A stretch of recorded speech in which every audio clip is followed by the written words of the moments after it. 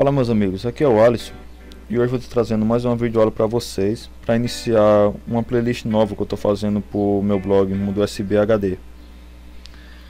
Bem gente, para começar eu vou tanto estar tá ensinando vocês agora como passar os jogos de PS2 para dentro de um pendrive ou de um HD externo e também tirar alguns, algumas dúvidas sobre quais os tipos de jogos que podem ser colocados direto para o pendrive e sobre os jogos em formato L que são divididos no USB útil.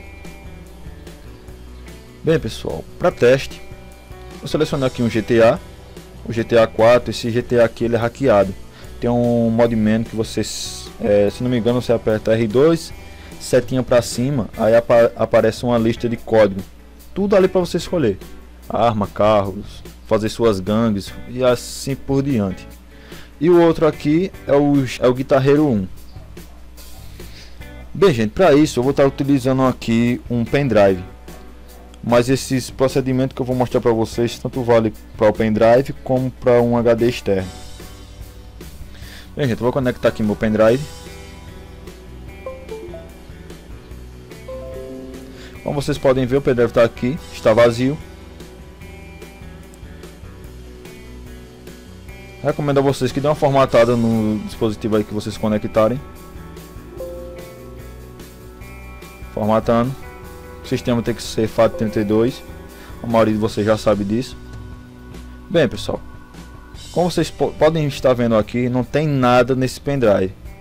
Se você for com esse pendrive direto lá para o OPL, automaticamente o OPL vai criar umas pastas. Eu vou fazer isso agora e vou voltar para vocês verem. Bem pessoal, já acabei de voltar aqui com o pendrive com esse PT lá no PS2 Mostrar para vocês aqui a pasta que o OPL cria automaticamente, viram só? Cria essas pastas aqui. Aqui vai ficar as fotos, aqui vai ficar uns jogos de PS2 em CD, CFGs, informação dos jogos, código. Aqui é as ISO, é abaixo de 4 GB, tema e os memory card virtuais.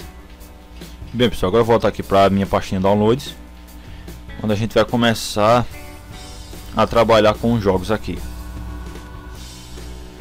Sim, pessoal, uma coisa que eu esqueci de falar no começo desse vídeo. Eu eu baixei, baixei não, gente. Eu quero que vocês baixem esses jogos aqui no, no meu blog. Mundo USB HD. Pessoal, eu criei esse blog há, um, alguns dias atrás. Tanto para para mim ter um lugar para me baixar meus arquivos quando eu não tiver aqui em casa. É o que eu costumo muito estar tá viajando. Aí eu não tenho um lugar onde ter acesso aos meus arquivos. Aí eu fiz esse blog já justamente para isso. Para quando eu for viajar ter um lugar já assim certo para mim pegar meu material.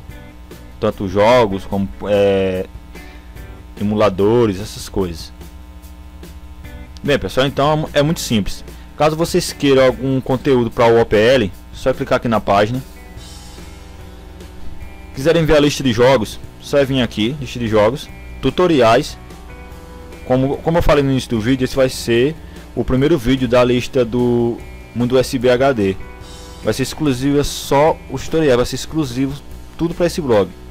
E aqui o grupo, gente. Agora aqui é tá a grande cereja do bolo. Quero que vocês participem desse grupo, porque qualquer alteração que eu for fazer nesse blog, atualizar, postar, sempre o primeiro a ser postado vai ser tanto aqui no blog como no grupo e depois por último na, fan, na fanpage. Como vocês podem ver, está bem aqui. Então, o que, é que eu peço de vocês? Participem do, do meu grupo. Porque qualquer coisa que eu for atualizar nesse, nesse blog, eu vou estar tá informando lá para vocês. Do mesmo jeito, se você estiver precisando de algum arquivo para o OPL. Como vocês podem ver, tem todos os arquivos necessários para você estar instalando aí no memory card de vocês. Aí vocês ficam mais à vontade para estar tá analisando isso de ponta a ponta. Voltando aqui na, na pastazinha downloads. Eu selecionei dois jogos como eu falei, que foi o GTA 4 e o Guitarreiro 1. Eu vou descompactar os dois.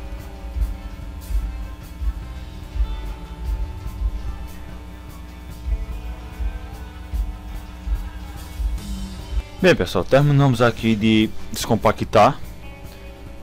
os dois jogos. Então aqui a gente pode apagar então no caso. Vou apagar aqui. Pronto, estou aqui com meu GTA e meu guitarreiro. Bem pessoal, peço que vocês vejam uma coisa aqui agora. Tô vendo aqui GTA 4,25 GB. Guitarreiro 2,14. Bem pessoal, como vocês já sabem, a maioria já sabe, jogos acima de 4 GB não vai dar para colocar a ISO inteira dentro de um HD externo ou, ou pendrive. Como vocês estão vendo aqui, o guitarreiro ele tem 2,14. Então aqui vai dar para a gente colocar dentro do nosso pendrive lá na pastinha DVD. Então, para não perder muito tempo, vamos recortar aqui, recortar e vou aqui e vou para o meu pendrive dentro da pasta DVD e colo ele aqui.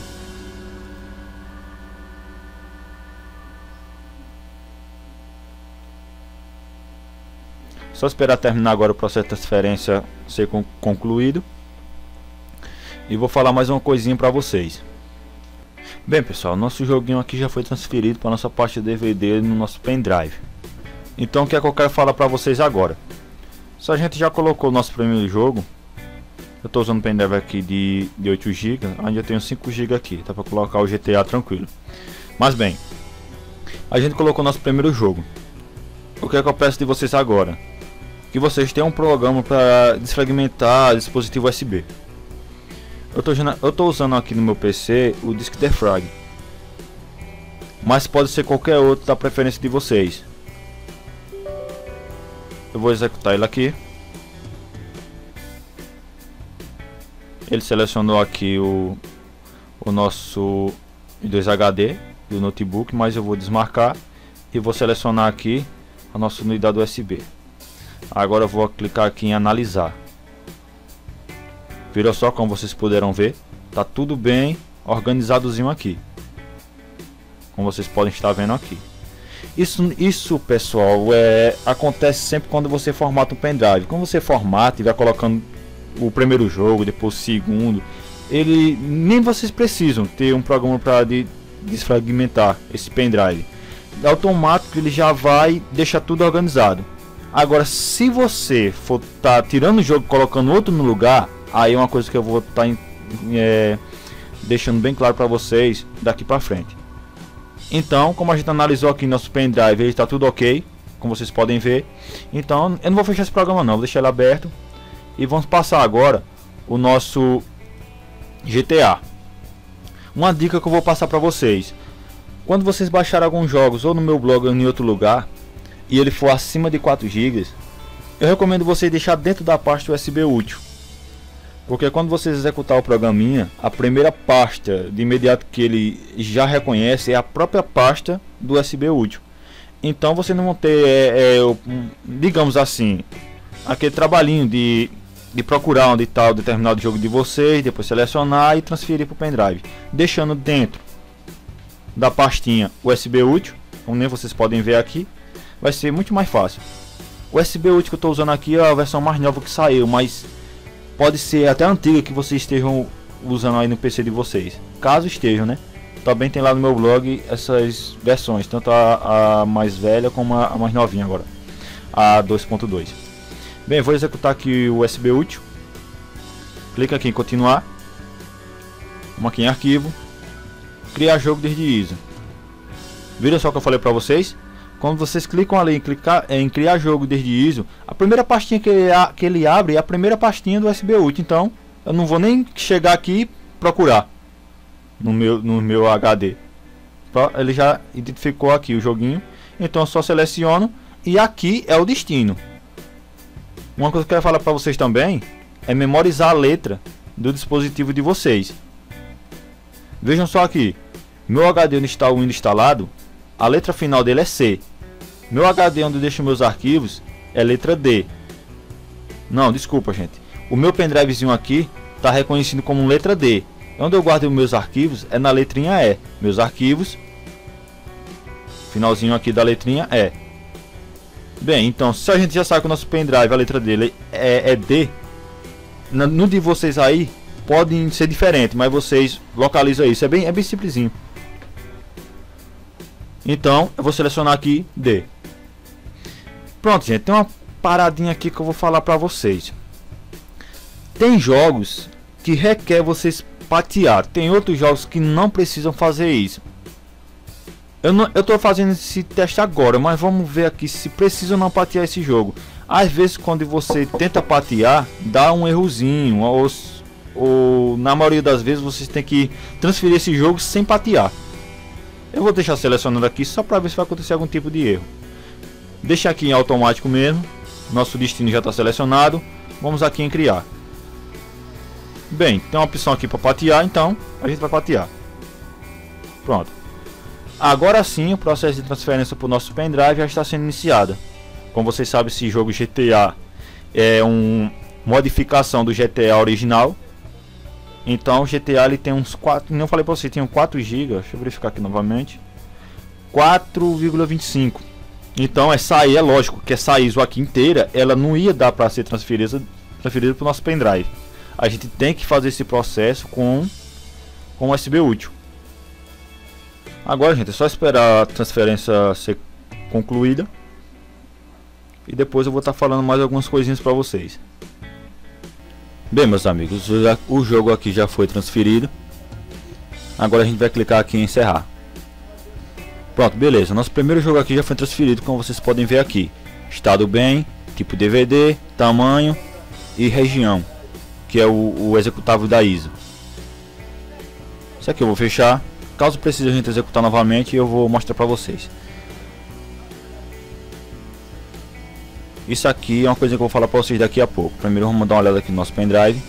Bem, gente, nós ficamos agora com 1 GB e 3. Nosso joguinho está aqui. Teve um inscrito do grupo OpenPS2 Load que estava com dificuldade de passar esse jogo pro pendrive, cara. fiquei até meio assim, porque... Pô, velho, nós estamos em 2016, né? Bem pertinho aí para 2017. Se fosse no começo de 2011 e 2012 eu não dizia nada, mas fazer o que? Assim mesmo, né? Mas continuando. Como vocês podem ver aqui, esse é o nosso joguinho aqui GTA. Esses arquivos aqui. Lembra que eu falei para você que joga para vocês que joga acima de 4 GB, não não dá para passar a ISO inteira para dentro do nosso pendrive? Então é isso. Para passar para o pendrive, a gente tem que usar o USB UT e vai fazer esses arquivos aqui. Tudo com pedaços assim de 1 GB. O, os últimos pedacinhos que fica pequenininho, tá vendo? 261 mega. Bem, aqui está o nosso guitarreiro. Menos de 3 GB, então pode colocar na nossa pastinha DVD. Pronto, pessoal, agora eu vou falar para vocês outra coisa. Vamos agora analisar novamente o nosso pendrive, ver se precisa desfragmentar ou não. Viram só? Perfeito, gente e não detectou nada, tá perfeito. Isso porque a gente formatou ele e colocou jogo por jogo. Isso é o que eu recomendo para vocês. Agora, digamos, vocês têm um pendrive de vocês ou um HD é, já com jogos. Digamos que está cheio. Aí você quer quer tirar é, tipo uns três jogos para colocar um, um guitarreiro, colocar um black, colocar um GTA e vocês vão colocar ele no pendrive. Tira três jogos para colocar um ou dois. Gente, tem que desfragmentar. Se não der certo, vocês têm que remover todo o conteúdo que tem no pendrive de vocês ou em um HD. No HD nem tanto, gente. Eu falo essa imagem no pendrive, porque vejam só, aqui eu tenho 8 GB. Aqui praticamente já está cheio. O que couber aqui é só um joguinho que nem Rumble Race, máximo, essas coisas.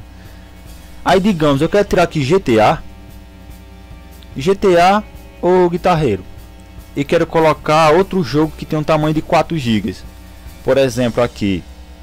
Aí no caso eu vou tirar aqui meu meu GTA para colocar um Resident Evil 4 nesse pendrive que está praticamente cheio. Quando eu for tirar o GTA e colocar um novo jogo, vai ficar desse jeito aqui. Que nem vocês podem ver. Se for num HD externo de 500 GB, 1 TB, aí vocês têm que desfragmentar. Isso aí é tranquilo. Agora, se você estiver usando pendrive de 8 e 16, 32, aí gente, eu recomendo a você. Se for de 32, ainda vale a pena desfragmentar dependendo do espaço que tenha sobrando. Ainda vale a pena.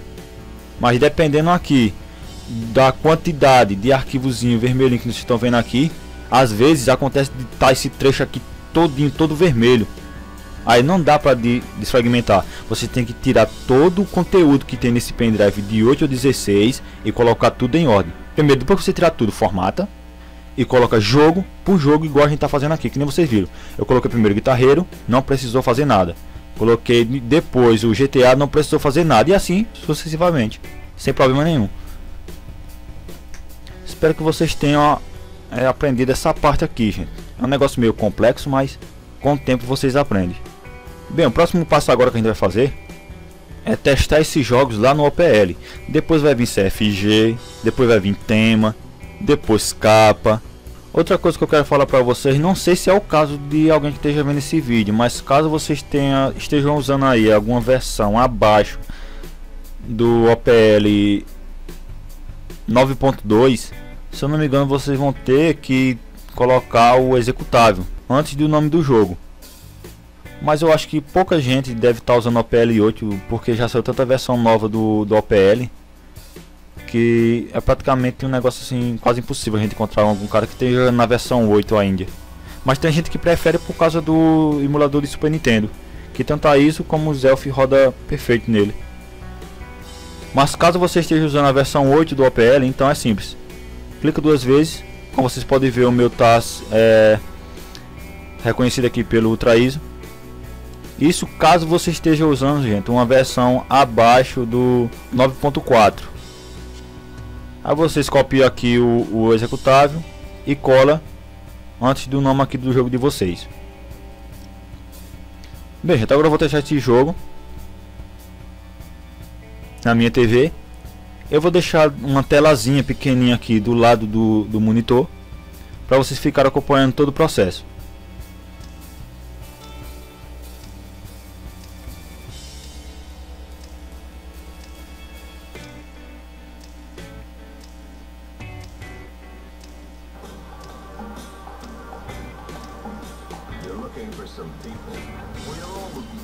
For that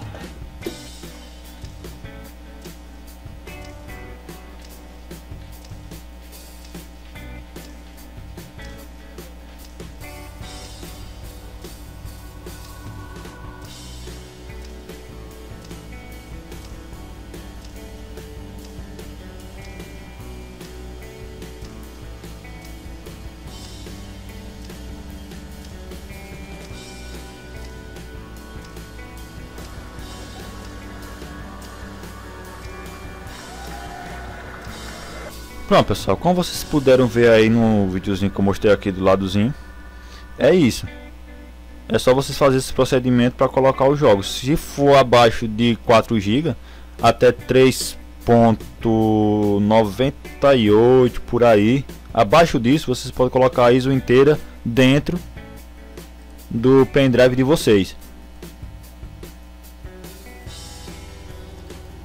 Na pastinha DVD igual tá Guitar Hero aqui se for mais de 4 GB, que no nosso caso aqui foi o GTA, então vocês deixam dentro da pastinha USB para ficar fácil para vocês é, localizar, digamos assim.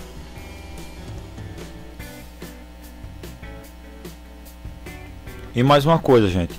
Se vocês estiverem usando, usando pendrive de 8 ou 16 GB, e sempre que vocês é, verem que tem pouco espaço para colocar jogos, para colocar jogos novos, eu recomendo a vocês, se for mexer comparação, se eu fosse mexer no pendrive desse novamente para colocar jogos, eu ia ter que formatar ele e colocar os jogos tudo de novo, os, os jogos que eu queria. Tipo, eu não quero mais GTA. Então eu ia formatar ele, ia colocar novamente o guitarreiro e ia colocar o outro jogo que eu estava querendo. Nunca façam isso, senão vocês vão fazer dois serviços no caso vocês vão tirar o jogo que já está e vão colocar outro no lugar, mas vai dar o um arquivozinho que eu mostrei para vocês aqui, ó, para precisar de desfragmentar. E às vezes o pendrive não tem nem espaço para fazer isso. Aí, então no caso, vai dar erro novamente. Aí vocês sempre formatam o pendrive de vocês e colocam em ordem um por um, cada jogo até encher a memória dele. Bem, pessoal, por hoje isso aí é o que eu tinha para ensinar para vocês. Os próximos vídeos agora que eu vou fazer vai ser sobre as capinhas dos jogos. Aí eu vou falar um pouco sobre o OPL Manage e sobre Photoshop. Porque por mais que você baixe as capinhas automaticamente, que é isso que eu vou mostrar para vocês no próximo vídeo, é, tem jogos que não dá para você baixar a capinha pelo OPL, OPL Manager. Que ele vai pegar, ele vai selecionar as capinhas pelo executável oficial da ISO.